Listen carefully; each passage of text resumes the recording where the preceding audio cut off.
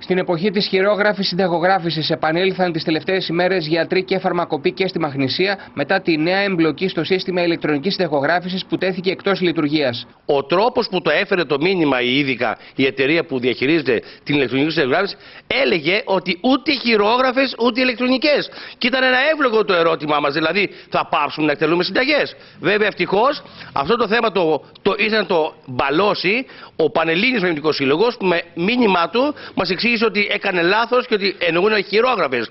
Δηλαδή η πλήρη αποδιοργάνωση όλου του συστήματος συνταγογράφησης.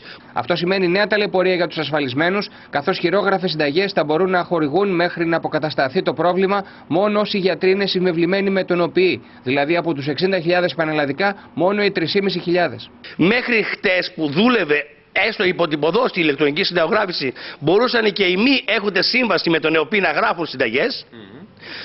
Ηλεκτρονικά, τώρα αυτοί δεν έχουν την δυνατότητα. Που σημαίνει οι ασφαλισμένοι θα, δεν έχουν ανθρώπους να γράψουν συνταγές. Άρα, σε εμείς, πάλι ακόμη μια φορά οι φαρμακοποιοί, οφείλουμε και θα λύσουμε πάλι το πρόβλημα της κατάδειας της πολιτείας σε αυτό το θέμα.